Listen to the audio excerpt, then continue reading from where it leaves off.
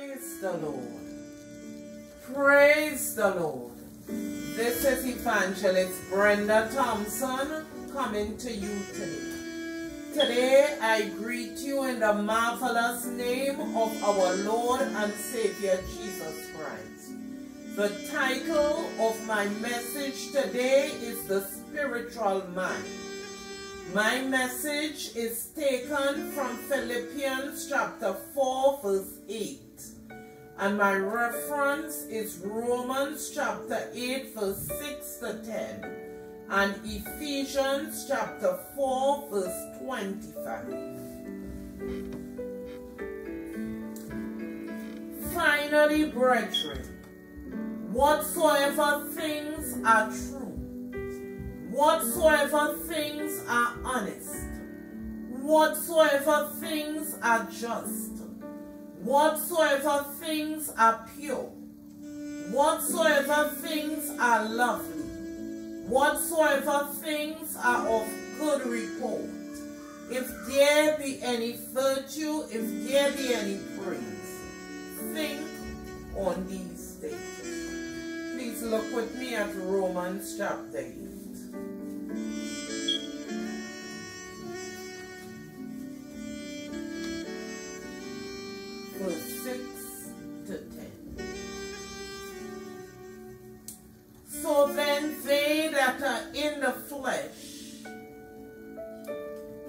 With me at verse 6. For to be carnally minded is death, but to be spiritually minded is life and peace. Because the carnal mind is enmity against God, for it is not subject to the law of God, neither indeed can be. So then they that are in the flesh cannot please God. But ye are not in the flesh, but in the spirit. If so be that the Spirit of God dwell in you.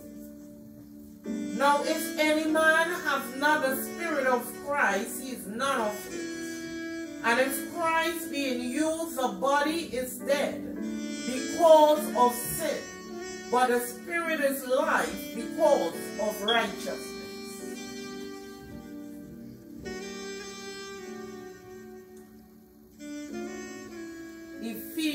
Ephesians chapter 4 verse 25.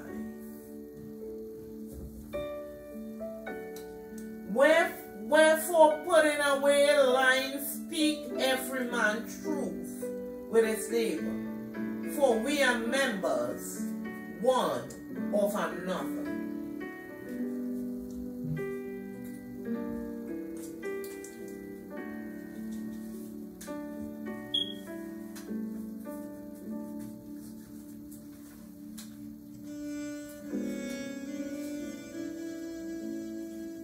Father, I come to you today in no other name than in Jesus' mighty name. I pray in the name of Jesus that this message will be a blessing to every hearer. In Jesus' mighty name. Amen.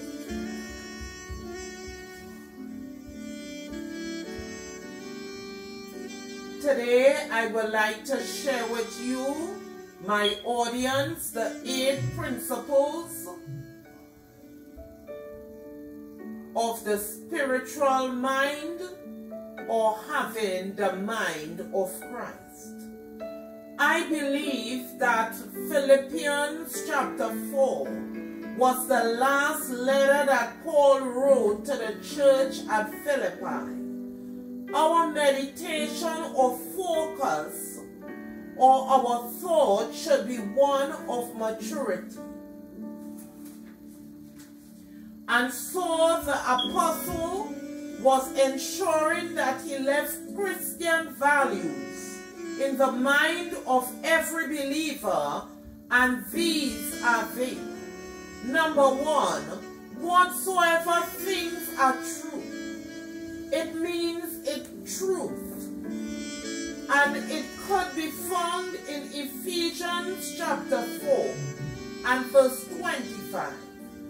Wherefore putting away lying, speaking every man truth with his neighbor, for we are members of one another.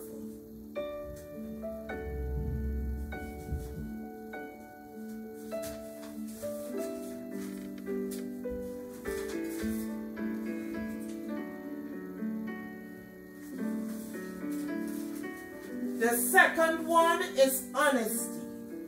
Whatsoever things are honest, you can find a reference in 2 Corinthians chapter 8 and verse 21. Providing for honest things, not only in the sight of the Lord, but also in the sight of men or believers. The third one is whatsoever things are just. It speaks about justice, and that can be found in Deuteronomy chapter 16 and verse 20. That which is altogether follow, that thou mayest live and inherit the land which the Lord thy God giveth thee. The fourth principle speaks about purity. It means holy or holiness.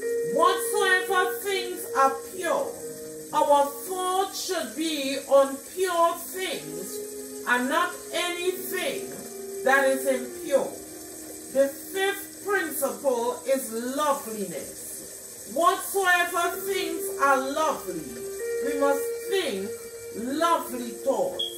And that can be found in 1 Corinthians chapter 13, verse 4 to 7. The sixth principle is goodness. Whatsoever are of a good report, we must think on these things. The second prince seventh principle is virtue.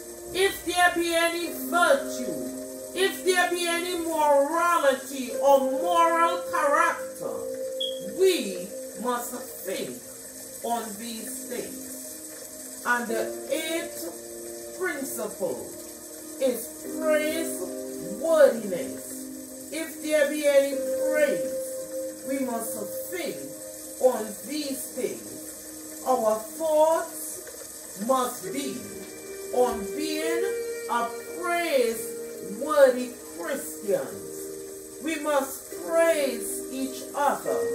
And the ninth principle is our thoughts must be on meditation. We must think. We must meditate on these things. Today, in my conclusion, I would like to pray a prayer on med of meditation for peace. If there is any turmoil in your life, a prayer of peace through meditation.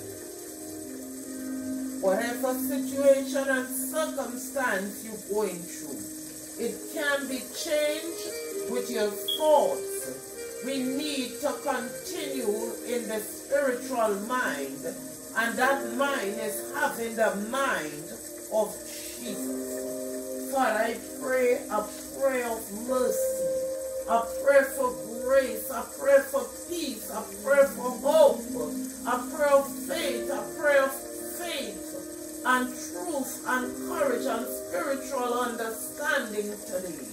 Have mercy upon all those who need mercy today.